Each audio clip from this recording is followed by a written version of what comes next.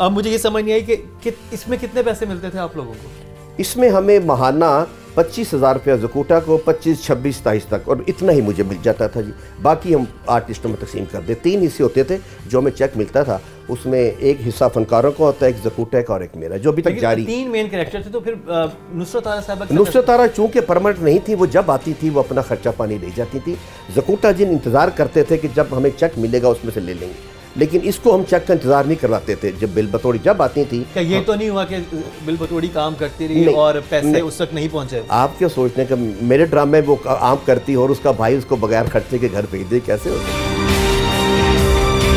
जी भाई ने बहुत प्यार से मोहब्बत से मुझे कहा कि आप आया करें हैं कि आंटी के लिया करें मैंने कहा हाँ हाँ। फिर मेरा भी दिल चाहा मैंने भी तीन चार प्रोग्राम उनके किए। तो मुझे बड़ी इज़्ज़त से मुझे मुझे काम मिला मेरा दिल खुश हुआ। जब वो यहाँ पर आती थी और वो परफॉर्म करती थी। सारी बात है आप तीन बड़े करेक्टर्स उस ड्रामे में थे अलमरा वाले में तो उनको कितनी पेमेंट दी जाती थी? उनको पेमेंट हम देते थे ए, मेरे ख्याल से टू थाउज़ेंड दो हज़ार रुपये पर। पर। तो अगर महीने में वो चार परफॉर्मेंसेस दे रही हैं तो तकरीबन आठ हज़ार रुपये उन्हें मिलते हाँ जी।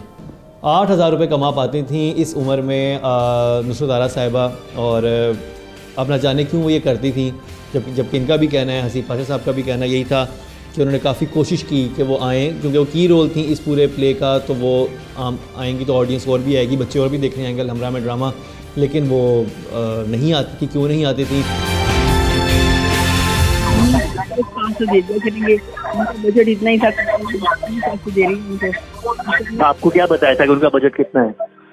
मुझे नहीं पता उनका बजट कितना उन्होंने मुझे पाँच सौ रिक्शे आने जाने का दिया।